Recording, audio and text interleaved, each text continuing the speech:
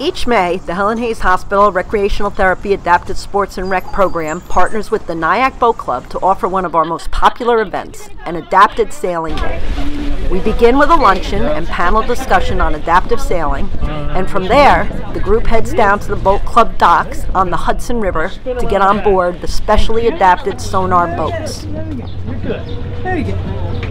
You're good. There you go. And stylish too. Good job. All right, hold on. I gotta get you hooked up. The Adaptive Sailing Program offers individuals with physical disabilities, including those with brain and spinal cord injuries, amputations and strokes, and cardiac and orthopedic disorders, the opportunity to learn to sail using adaptive equipment.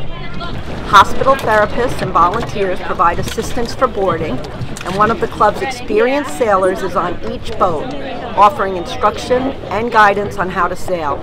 We wrap up the day with an informal reception and roundtable discussion.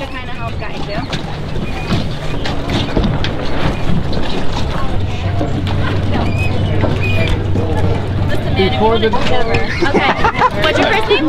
I'll make sure you have a, uh, Okay, a so pleasurable we're gonna- we're gonna experience. For someone who's experienced an illness or injury and may be dealing with limited mobility or wheelchair use, getting out on the river is really an exhilarating, equalizing, and peaceful experience.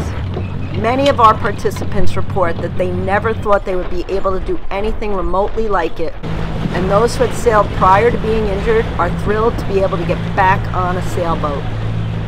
It's always a great day.